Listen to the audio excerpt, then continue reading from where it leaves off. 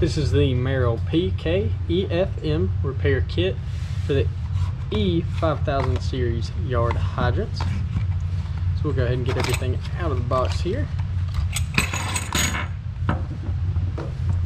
So come with the two metal link plates or draw straps, the plunger assembly, the pivot connector, and screw there.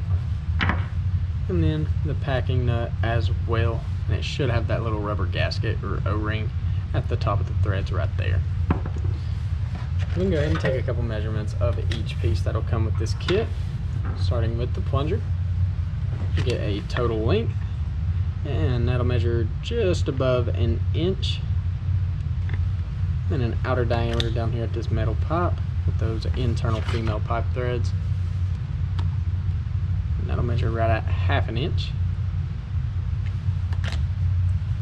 And then the packing nut get a total length.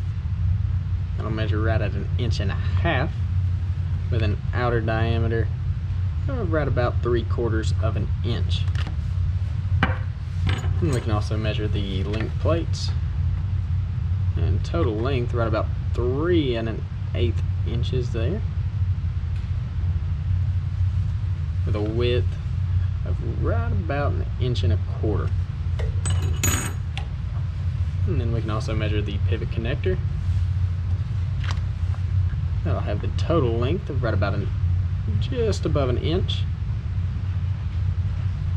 And then in diameter of that hole there right there in the center is right at about a quarter of an inch. Yeah, so once again this is the Merrill PK EFM hydrant repair kit